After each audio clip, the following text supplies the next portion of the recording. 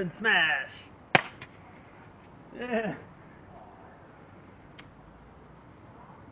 Do to have a go? No. You crap.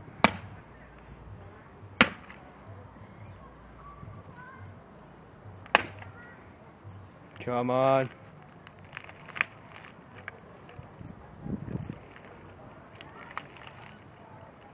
Oh, it's not a laptop screen anymore.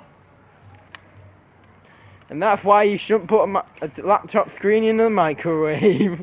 What do you mean a microwave? I don't know. That's one hell of a broken screen. And that's one hell of a dirty one. oh well. Hammer. My Whoa. god. Nathan. I totally smashed this shit up. Exit Hammer. 2008 once again. Nathan Let's go and show Darren.